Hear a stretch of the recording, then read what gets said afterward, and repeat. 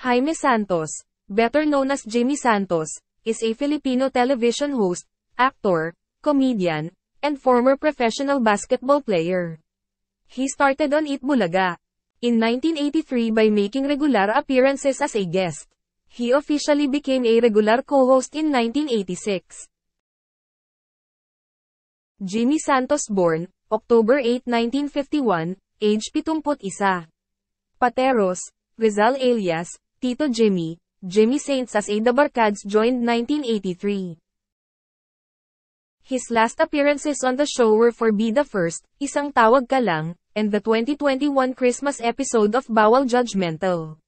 Since then, he has focused on his private life and his YouTube channel Jimmy Saints.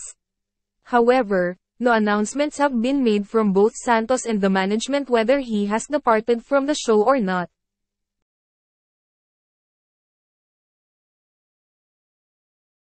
Early life Jaime Santos was born on October 8, 1951 to a barber, father, and a housewife, mother. Their family has 11 children. As a scholar, Jimmy went to the University of the East for one semester before transferring to Jose Rizal College where he played college basketball. Jimmy began to appear in serious supporting roles in the 1970s feature films his debut movie was Bontok with the late action king Fernando Poe, Jr and his other movies including Little Christmas Tree. In the 1980s he turned to comedy, and became a regular in the Philippine television series Iskul Bukol and TODAS. Television's outrageously delightful all-star show.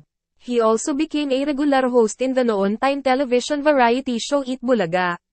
Since then, he starred as lead comic actor in such feature films as I Love You 3x a Day, Bondying, a remake, Wooly Bully, and humanap ka ng pangit.